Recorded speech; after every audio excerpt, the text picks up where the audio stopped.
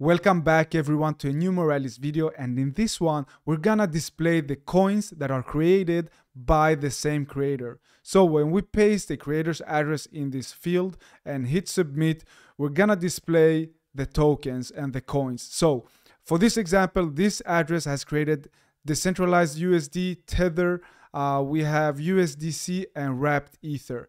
And we are displaying them beautifully using the Web3 UI kit that Moralis provides us. Um, and I've used tracemove.io to get the coin list from here. I took this creator's address from Tether right here. So we can try with another one. We can take this Ditto Stake Aptos. And if we copy this and paste that in here, hit submit, and we can see that this creator has created these two coins. So redeemable Ditto discount token and Ditto staked Aptos.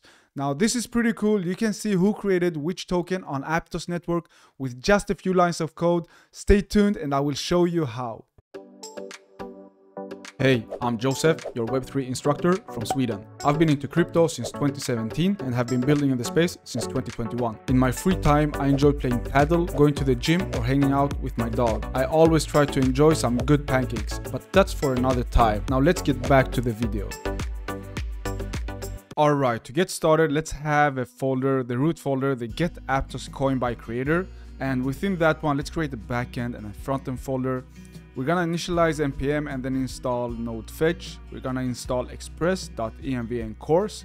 And then we're gonna add the .env file to the root of the backend folder and we're gonna add our Moralis API key. Now, if you don't have one already, make sure you get one by going to moralis.io slash pricing. You can see our different plans. We have the free one, which is good for starting out, but if you want to take your dApps to the next level, I highly recommend you to go with the pro plan you will get more compute units, you, you will get more daily uh, requests, unlimited daily requests to be honest. So you get so much more by just going with the pro plan right here. And once you've done that, we can go to the top and click login.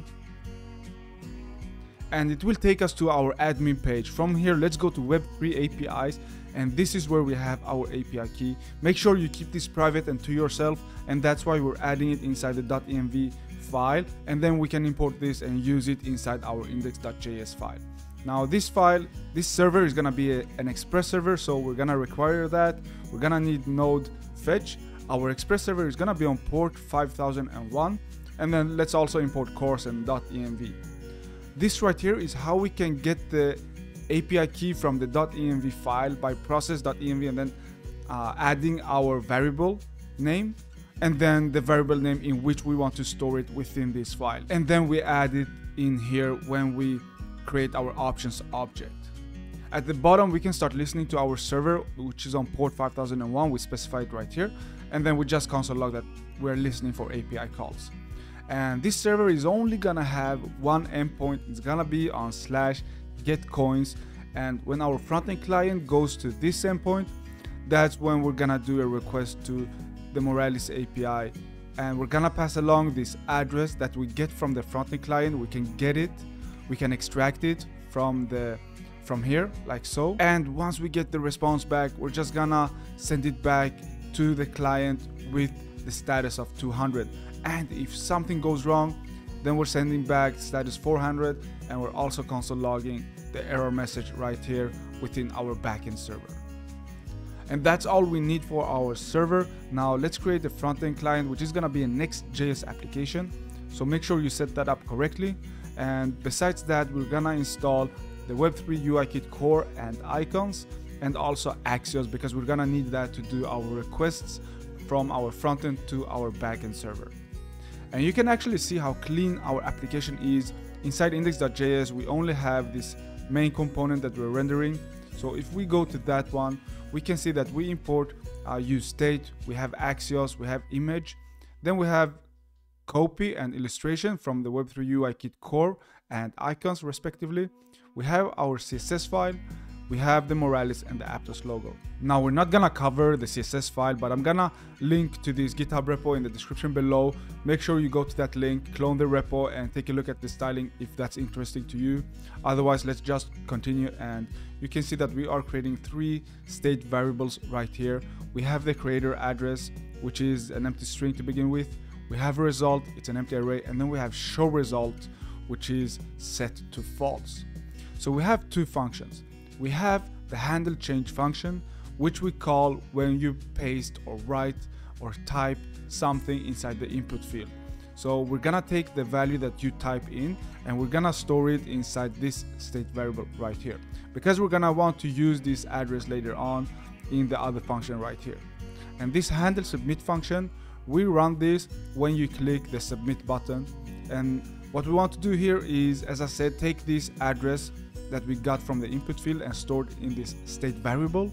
And we're gonna use that and send it as a parameter to our backend server. And our backend server to do the request as I said before we're gonna use Axios. It's a get request on slash uh, on localhost colon 5001 slash get coins because that is the endpoint we created on our backend server. And once we get the response back we can both console log it and we can also uh, store it which is what we do in this state variable right here the empty array. And then we set show results to true because now is when we want to display our results. And down here is where we're rendering everything. So let me let me just minimize this svg right here. So we have the logos uh, the Moralis logo right here. We have the Aptos logo right here.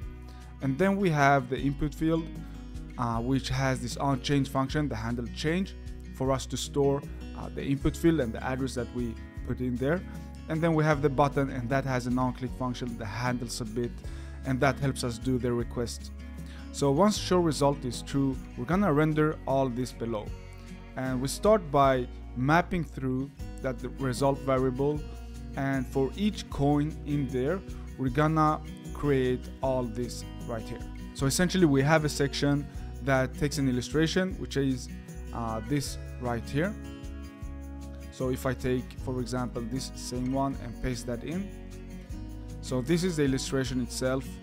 And then we are uh, adding the creator's address for example we have symbol we have decimal we have time created and that's all this data right here that we're displaying below that so that's pretty clean, clean and um, the web3 ui kit using this illustration uh, and this copy right here which is this icon right here that makes things very easy for us so we can just add all the data we, we're getting back and focus on uh, displaying what we want to display but how we are displaying it Web3 UI Kit makes that very easy for us. And that's basically all we need. If we don't get anything back, we are just sending this Bean Boy uh, step one illustration. I'm gonna show you what that is, but before that, I just wanna tell you that this is all the code we essentially need. We don't need more lines than this, no more hassle. It's very quick, it's very easy, and it's very straight to the point. So let me show you once again. Let's take um, so let's actually do this. Let's take my own address because I know I haven't created a coin yet. And there we have it. We get this Bean Boy eh, because I haven't created one yet. And then if we go back and, and let, let's uh, let's do this.